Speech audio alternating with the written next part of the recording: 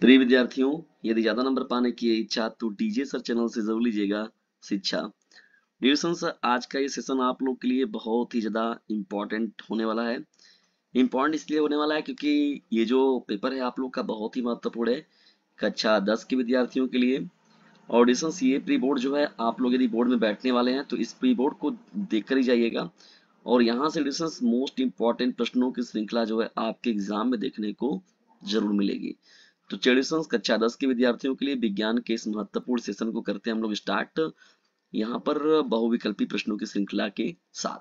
फटाफट से हम लोग कवर करते हैं इस सेशन को। देखिए, खंड अ में जो है हम लोग का देखिए स्टार्ट है यहाँ पर। देखिए, विद्युत धारा का एसआई मात्रा क्या है? ठीक है? विद्युत धारा का एसआई मात्रा क्या होता है? देखिए एसआई का मतलब क्या होता है? इंटरनेशनल सिस्टम बोलते हैं इसको हम लोग। क्या बोलते हैं एसआई को? International system. इसका मतलब इसको कहते हैं हम लोग अंतरराष्ट्रीय पद्धति। तो विद्युत धारा का अगर ऐसा ही पद्धति अगर देखा जाए अंतरराष्ट्रीय पद्धति में जो मात्रक है वो है एम्पियर। तो पहले का विकल्प नंबर स जो होगा वो करेक्ट हो जाएगा। चलिए बढ़ते हैं, यहाँ पर हम लोग आगे डिस्टेंस और यहाँ पर याद रखिएगा एक चीज़ ना जिसे पूछ लिया जाए आपसे कि एक एम्पियर क्या होता है तो एक गुलाम आवेश का प्रवाह जो है वो प्रति सेकंड में जो होता है तो परिपथ में जो धारा का मान होता है वो एक एम्पियर कहलाता है, ठीक है? ये आप लोग के लिए जो बोनस में था, इसे आप लोग छोड़िएगा नहीं, तैयार कर लीजिएगा। चलिए, आगे बढ़ते हैं हम लोग यहाँ पर डिस्टेंस और देखते हैं सेकंड प्रश्न को। देखिए, दूसरा हम लोग का प्रश्न क्या है? एक प्रोटॉन एक प्रोटॉन पर वैद्युत आवेश की मात्रा कितनी होती है? देखिए डिस्टेंस अगर बात करें हम लोग इलेक्ट्रॉन के रूप में तो minus one point six zero two one point six zero two into ten to the power minus nineteen coulomb तो देखिए यहाँ पर जो हो जाएगा आप सभी लोगों का ये जो विकल्प नंबर आपका स है, वो करेक्ट हो जाएगा। 1.6 point six into ten to the power minus उन्नीस गुलाम जब इसके अगर माइनस हो जाता तो ये प्रोटॉन पर क्या होता है? वैद्युत आवेश हो जाता है इलेक्ट्रॉन पर हो जाता है। लेकिन यहाँ चूँकि ये माइनस वन जो वन पॉइंट सिक्स धनात्मक है तो ये वाला जो आपका आंसर होगा, वो राइट आंसर हो जाएगा। ठीक है? चलिए, चुंबकीय क्षेत्र की तीव्रता का मात्रक नहीं है। चुंबकीय क्षेत्र की तीव्रता का मात्रक नहीं है। देखिए टेस्ला जो है, वो चुंबकीय क्षेत्र की तीव्रता का मात्रक है। ठीक है ना? और वेबर प्रति मीटर स्क्वायर जो है, ये भी चुंबकीय क्षेत्र की तीव्रता का मात्रक है। अब आपको बताना है कि सा ऑप्शन इसमें से करेक्ट होगा कि द होगा। जो भी इस प्रश्न का राइट आंसर है कमेंट बॉक्स में ज़रूर दीजिएगा। और इसका उत्तर आप लोग दीजिए कमेंट बॉक्स में फटाक से जाइए, ताकि आप लोगों को भी पता चले कि हाँ कि आप लोग कितने एक्टिव हैं। कांच का अपवर्तनांक किसके लिए अधिकतम होता है? कांच का अपवर्तनांक किसके लिए अधिकतम होता है? देखिए, अधिकतम की बात अगर करें आपसे तो हमेशा याद रखिएगा बैगनी। विविग्योर वाला जो है याद रखिएगा, उसे और सबसे जो न्यूनतम है, वो लाल रंग में होते हैं। तो कांच का पूर्णांक इसके लिए अधिकतम होता है? तो बैगनी रंग जो होगा आपका करेक्ट हो जाएगा।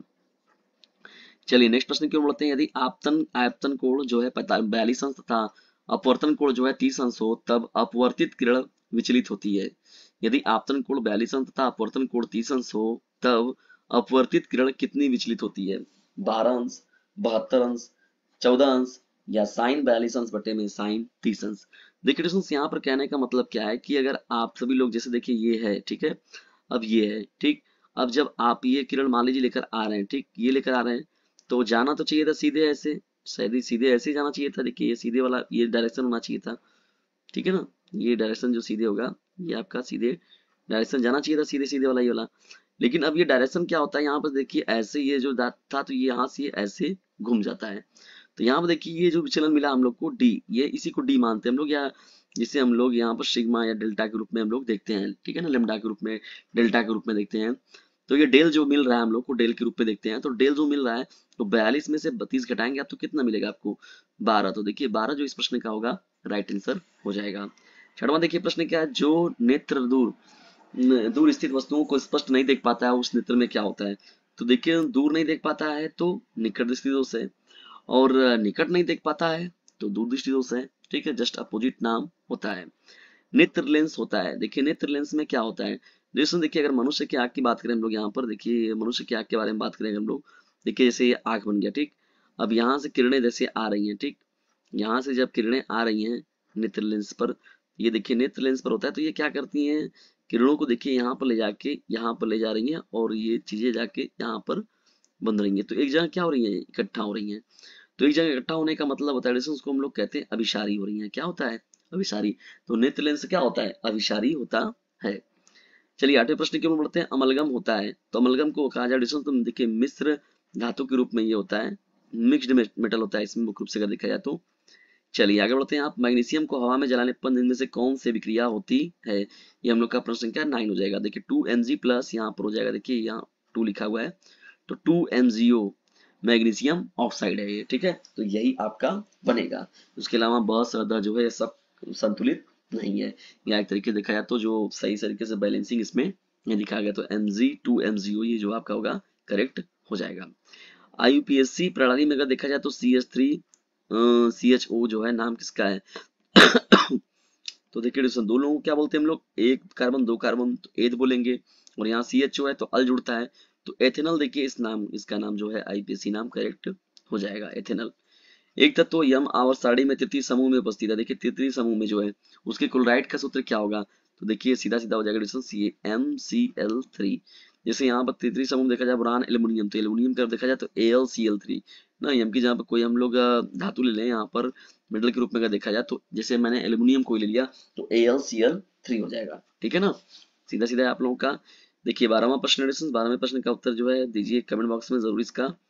ठीक है, थोड़ा तार्किक प्रश्न डाला जा रहा है। देखिए, ऐसे प्रश्नों को दिखाने का मतलब सिखाने का मतलब आपको एडिशन की आपके अंदर जो है, एक तरीके से रीजनिंग की भावना या थोड़ा सा चीज़ों को गहराई से पढ़ने की भावना को सिखाया जा रहा है। ताकि मतलब जब चीज़ों को आप पढ़ें तो किसी भी चीज़ों को ऊपर ऊपर से पढ़ेंगे आप तो काम समझ लीजिए अब आज के समय में होने वाला नहीं है। समझिए, दिक्कत में फंस जाएँगे। देखिए, धावन सोडा का प्रकृति कैसी होती है? नेक्स्ट प्रश्न में जब लोग पढ़ते हैं देखिए यहाँ पर तो धावन सोडा की जो प्रकृति होती है वो कैसी होती है? तो एक इसकी प्रकृति के बारे में बात करें तो ये मुख्य रूप से अगर देखा जाए तो क्षारी प्रकृति होता है, ठीक है ना? कैसी प्रकृति होती है इसकी? क्षारी प्रकृति के रूप में होता है। देखिए, धावन सोडा के बारे में अगर हम लोग बात करें तो जो धावन सोडा या धोने वाला सोडा भी इसे कहते हैं हम लोग, वॉशिंग सोडा भी कहते हैं इसे, सोडा एस भी कहते हैं, सोडा क्रिस्टल भी कहते हैं इसको हम लोग। तो N two C O three इसका जो होता है फॉर्मूला होता है N A two C O three ठीक है ना? तो मुख्य रूप से अगर देखा जाए तो क्या हो जाएगा, ये क्षारीय इसका जो होता है, वो प्रकृति होता है। इनमें से कौन भिन्न है? सभी से ट्रिप्सिन, पेप्सिन, इंसुलिन, टाइनिन, टाइलिन, ठीक है तो बताइए कौन सा है ये इसमें से? देखिए, ट्रिप्सिन, पेप्सिन, इंसुलिन, टाइलिन, बहुत ही सीधा प्रश्न है और एकदम सामने दिख रहा है। कमेंट बॉक्स में इसका उत्तर ज़रूर दीजिएगा। अनुवंशिक पदार्थ कौन है? बताइए R N D N A ribosome protein, ये भी बहुत ही सीधा सीधा प्रश्न है डिस्टेंस बार बार बताने बताया हुआ प्रश्न है, ये सीधा सीधा प्रश्न है, इसका उत्तर ज़रूर दीजिए आप लोग। आनुवंशिकी का गुणसूत्र सिद्धांत प्रस्तुत किया था, ये भी प्रश्न बहुत ही महत्वपूर्ण है, बहुत ही इंपॉर्टेंट है, बार बार बताया हुआ प्रश्न है, आया हुआ प्रश्न है। ग्रेगर जान मेंडल, ये बार बार आता है देखिए ये प्रश्न जो हो गया, पंद्रहवा हो गया, सोलहवा हो गया, ये सब प्रश्न जो है बार बार पूछे जाने वाले प्रश्न है, ठीक है? चलिए बढ़ते सत्रहवें प्रश्न की और प्लेनरिया में किस प्रकार का जन्म होता है? प्लेनरिया में किस प्रकार का जन्म होता है? प्लेनरिया में किस प्रकार का जन्म होता है? तो देखिए, डिस्टेंस से हम लोग कहते हैं पुनरुद्भवन। क्या बोलते हैं? पुनरुद्भवन बोलते हैं इसको हम लोग, ठीक है ना? प्लेनेरिया में किस प्रकार का जन्म होता है? तो इसे पुनरुद्भवन बोलते हैं हम लोग। तो पुनरुद्भवन का मतलब देखिए, डिस्टेंस क्या होता है? अगर देखा जाए मुख्य रूप से, अगर इसको समझने का थोड़ा सा प्रयास किया जाए तो देखिए रीजनरेशन इसे हम लोग बोलते हैं। पुनरुद्भवन को एक तरीके से हम लोग कहते हैं क्या? रीजनरेशन मतलब देखा जाए तो अलैगिक प्रजनन कहते हैं उसको हम लोग। क्या बोलते हैं? लैंगिक प्रजनन में नहीं रखते इसको हम लोग। अलैगिक प्रजनन में रखते हैं। देखिए प्लेनेरिया में होता क्या है कि शरीर के टूटे हुए अंग पुनः निर्मित हो जाते हैं। शरीर का टूटा हुआ अंग जो होता है, वो पुनः क्या होता है उसमें? निर्मित हो जाता है। जैसे कहा गया, नाखून यदि आप काट ले रहे हैं तो नाखून देखिए फिर से निकल जाता है। जैसे छिपकली है देखिए उसका पोच कट जाता है तो करके पोच फिर से निकल। तो ऐसे कुछ चीज़ें होती हैं जो कि क्या होता है? शरीर के टूटे हुए अंग पुनः निर्मित हो जाते हैं। तो इसे हम लोग पुनरुद्भवन के रूप में रीजनरेशन के रूप में कहते हैं। और ये एक तरीके से अलैंगिक प्रजनन होता है। ठीक है? चलिए बढ़ते हैं। यहाँ पर हम लोग आगे देखिए, ये प्रश्न जो है, इतिहास का प्रश्न कहाँ से घूम फिरते फिरते आ गया इसमें। चिपको आंदोलन कहाँ प्रारंभ हुआ? चिपको आंदोलन कहाँ प्रारंभ हुआ था? ये प्रश्न जो है आप लोगों का, ये भी बहुत ही महत्वपूर्ण है। चिपको आंदोलन जो था डिविजन देखिए, भारत में देखा जाए तो उत्तर प्रदेश राज्य में हुआ था, मुख्य रूप से अगर देखा जाए तो जो तो उत्तराखंड के भाग में देखा जाए कि वन संरक्षण आंदोलन के रूप में था ये भारत में। चिपको आंदोलन को देखा जाए तो चिपको आंदोलन भी कहते हैं हम लोग। और ये उत्तराखंड में देखा जाए तो उत्तराखंड में।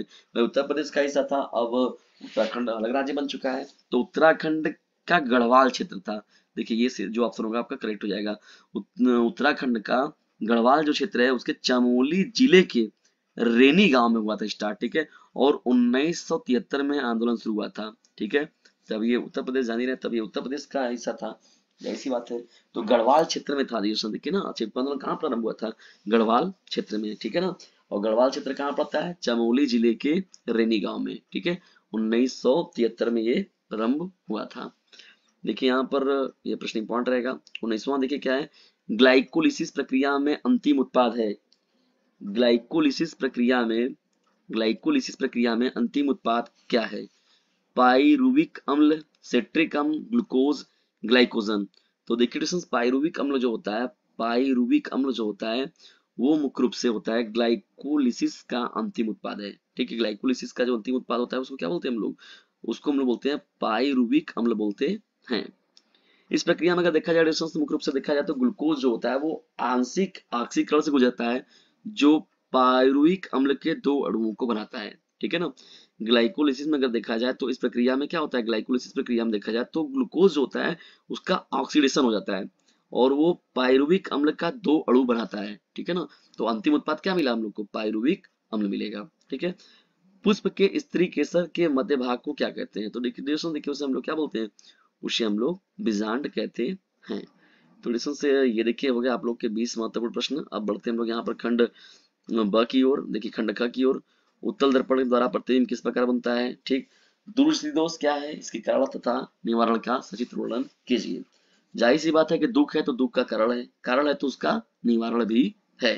ठीक है तो इसके लिए निश्चिंत रहिएगा, बिल्कुल भी आप लोग थोड़ा सा इसके लिए परेशान होने की ज़रूरत नहीं है। और देखिए, विद्युत विभव की परिभाषा दी, इसका मात्रा की भी बहुत महत्वपूर्ण है।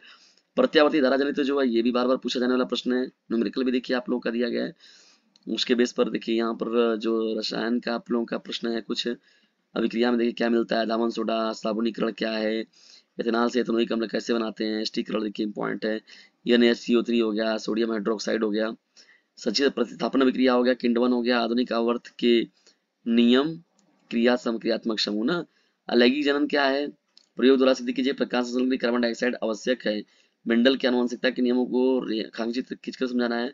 मानव हृदय की क्रियाविधि का वर्णन करना है। तो डिस्टेंस ये रहा महत्वपूर्ण मॉडल पेपर आप लोगों को प्री बोर्ड का। ये प्री बोर्ड का पेपर आप लोग कैसा लगा कमेंट बॉक्स में ज़रूर बताइएगा। और यदि वीडियो थोड़ा सा भी हेल्पफुल लगा हो तो इसे अपने क्लासमेट पर शेयर ज़रूर कीजिएगा। वीडियो को अंत तक देखने के लिए आप सभी लोगों का हृदय ग्राह्य से धन्यवाद।